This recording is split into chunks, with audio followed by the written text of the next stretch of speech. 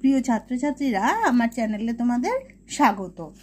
আজ আমার চ্যানেলে আমি ক্লাস ইলেভেনের র্যাপিড রিডার বইটা থেকে comedy of errors, comedy of errors এর পার্ট ওয়ানটা নিয়ে আলোচনা করব। কমেডি অফ এরর্স এই র্যাপিড রিডার বইয়ের, জানো তোমরা সমস্ত গল্পগুলোই, এই পাঁচটা গল্পই শেক্সপিয়ারের লেখা গল্প এগুলো চার্লস ল্যাম এবং ম্যারি ল্যাম তারা পাবলিশ করেছেন। চলো, আমরা কমেডি অফ এরর্স নিয়ে আলোচনা শুরু করি। এর বাংলাটা আমরা দেখব, বঙ্গানুবাদটা দেখব পুরোটা বুঝে নেওয়ার চেষ্টা করব। দেখো chapter one comedy of errors the states of Syracuse and Ephesus were enemy states বলছে দ্য স্টেটস মানে দেশ এখানে অফ সাইরাকিউস অ্যান্ড এফেসাস এই Syracuse and Ephesus were enemy states এরা দুজন ছিল, এই দু দেশ ছিল শত্রু দেশ মানে একে অপরের শত্রু ছিল। Hence there was a cruel law in the state of Ephesus stating that if a merchant of Syracuse was seen in Ephesus he would be put to death unless he paid a thousand marks for the ransom of his life বলছে hence সেই জন্য যেহেতু এরা দুজন enemy states ছিল দেয়ার was a cruel ল মানে আইন। সেখানে একটা ক্রুয়েল নিষ্ঠুর আইন ছিল কোথায়? In the state of Ephesus Ephesus দেশে এফেসাস দেশে একটা ক্রুয়েল ল ছিল। তোমাদের মনে রাখতে হবে এগুলো ভালোভাবে যে তাহলে প্রথমেই মনে রাখব আমরা কি কি? যে কোন দুটো দেশ শত্রু দেশ ছিল? সাইরাকিউস আর এফেসাস পড়ার সময় পারলে তোমরা তোমাদের বইতে এভাবে মার্ক করে পড়ো। তাহলে সাইরাকিউস আর এফেসাস শত্রু দেশ ছিল ক্রুয়েল লটা কোথায় বানানো হয়েছিল? এফেসাস এফেসাসে এই নিষ্ঠুর আইনটা বানানো হয়েছিল। স্টেটিং দ্যাট উল্লেখ করে যে if a merchant of Syracuse was seen in Ephesus he would be put to death unless he paid a thousand marks for the ransom of his life বলছে ইফ যদি এ মার্চেন্ট মানে বণিক of Syracuse was seen in Ephesus অর্থাৎ যদি কোনো সাইরাকিউসের বণিককে এফেসাসে দেখা যায় he would be put to death তাকে মৃত্যুদণ্ড দেওয়া হবে আনলেস মানে যদি না he paid a thousand marks যদি না সে থাউজেন্ড মার্ক দেয়। মার্ক হচ্ছে এখানকার মুদ্রা। যদি সে এক হাজার মুদ্রা দেয়, তাহলে কত মুদ্রা দিতে হবে? এক হাজার মুদ্রা। For the ransom of his life ransom ransom মানে মুক্তিপণ। তার জীবনের মুক্তিপণ হিসেবে। তাহলে তাকে মৃত্যুদণ্ড দেওয়া হবে। অর্থাৎ এতটা থেকে আমরা কি বুঝলাম? কোন দুটো দেশ শত্রু দেশ ছিল? সাইরাকিউজ আর এফেসাস এই নিষ্ঠুর আইনটা কোথায় বানানো হয়েছিল? এফেসাসে নিষ্ঠুর আইনটা এই ছিল যে সাইরাকিউজের কোনো বণিককে যদি এফেসাসে দেখা যায়, তাহলে তাকে মৃত্যুদণ্ড দেওয়া হবে। যদি না সে এক হাজার মার্ক, অর্থাৎ এক হাজার মুদ্রা দিতে পারে। Aegeon and old merchant of Syracuse Aegeon, একজন বৃদ্ধ বণিক অফ সাইরাকিউজ সাইরাকিউজের একজন বৃদ্ধ বণিক। তাহলে হু ওয়াজ ইজিয়ান ইজিয়ান কি ছিল? Aegeon was an old merchant of Syracuse সে একজন সাইরাকিউজের বৃদ্ধ বণিক ছিল। Was seen in the street of Ephesus তাকে দেখা গেল তাকে দেখা গিয়েছিল এফেসাসের রাস্তায় and brought before the duke এবং তাকে ডিউকের সামনে হাজির করা হলো। আমরা যেমন কিং বলে থাকি, রাজা, এম্পেরর, তেমনি ওখানে রাজাকে ডিউক বলা হয়। তাই যেহেতু সে সাইরাকিউজের বণিক, তাই সাইরাকিউজের বণিককে দেখতে পেলেই তাকে তো এক হাজার মার্ক নেওয়া হবে বা মৃত্যুদণ্ড দেওয়া হবে।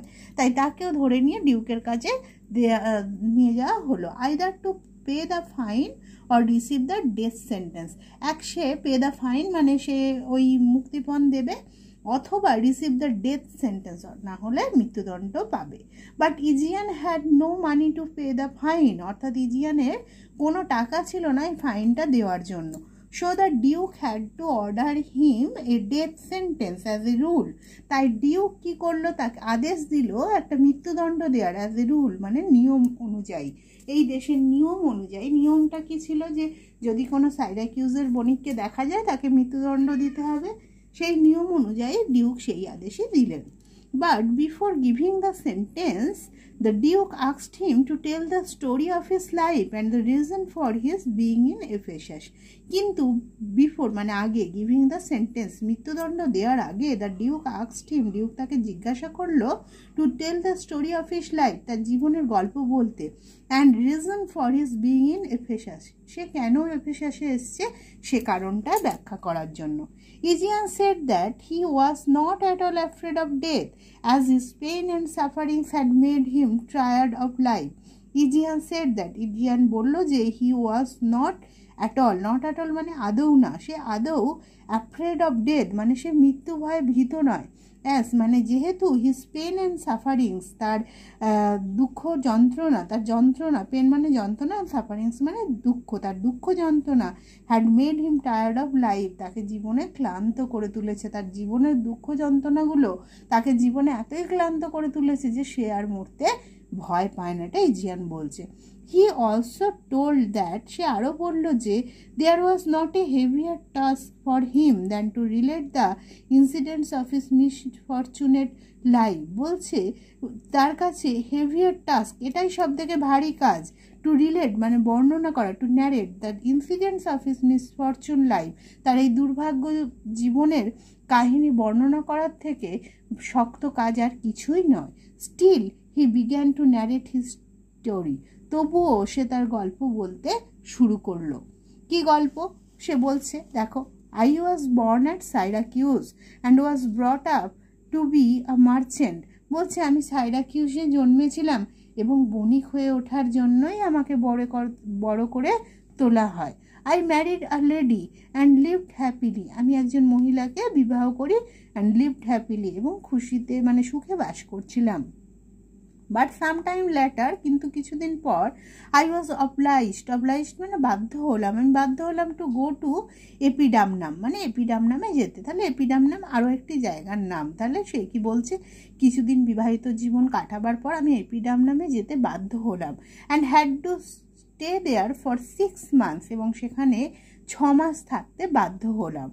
I was to be there for some time more আমাকে সেখানে আরও কিছুদিন থাকতে হবে।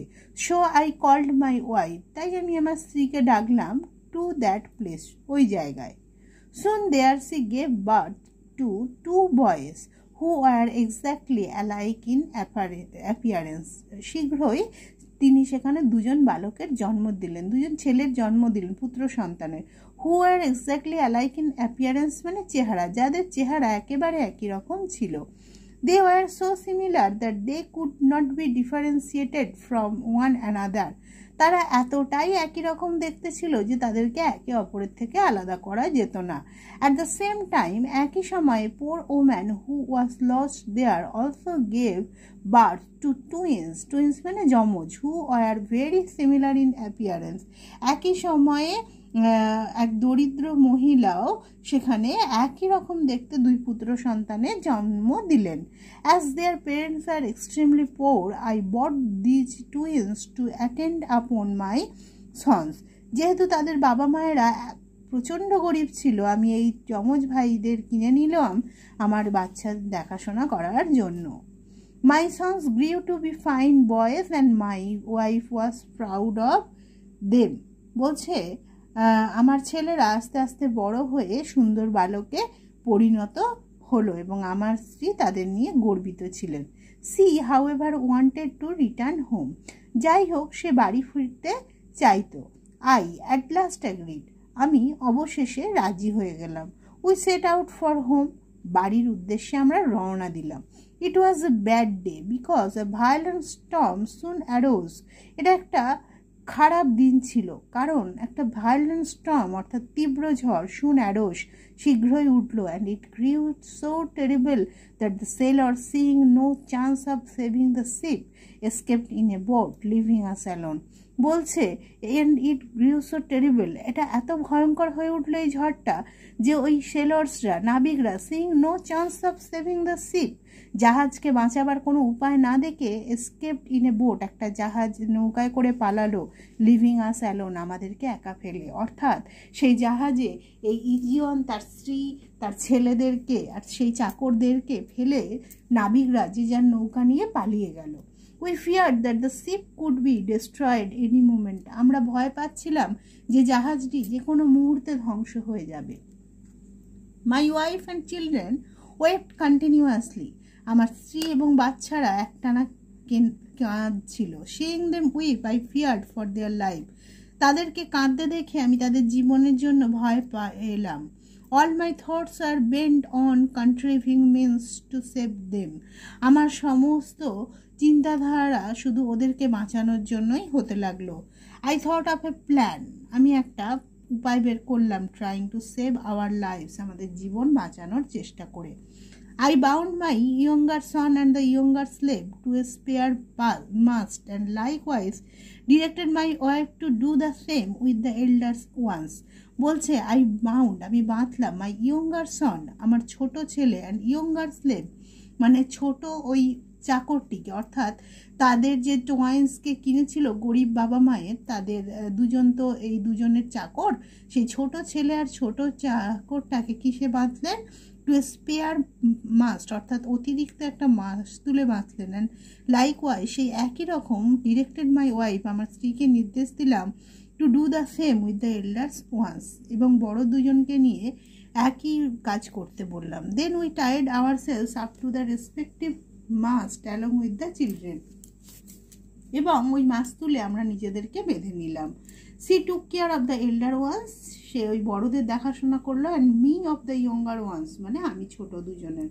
Soon the ship hit a mighty rock and split to pieces শীঘ্রই জাহাজটি একটি বড় পাথরে ধাক্কা দিল অ্যান্ড স্প্লিট টু পিসেস মানে টুকরো টুকরো হয়ে গেল।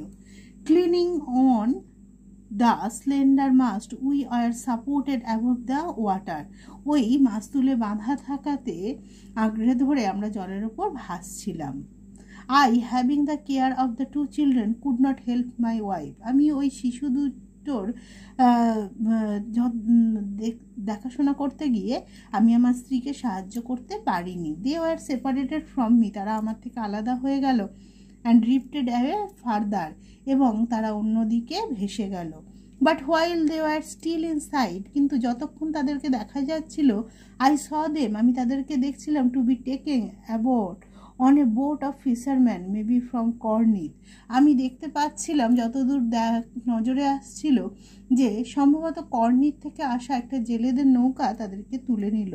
সিইং দেম সেফ তাদেরকে নিরাপদে দেখে I then struggle to save the two children আমি তখন লড়াই করতে লাগলাম এই দুজন বাচ্চাকে বাঁচানোর জন্য। হু আর আন্ডার মাই কেয়ার যারা আমার কেয়ারে ছিল। অ্যান্ড আফটার আ হোয়াইল মানে কিছুক্ষণ পর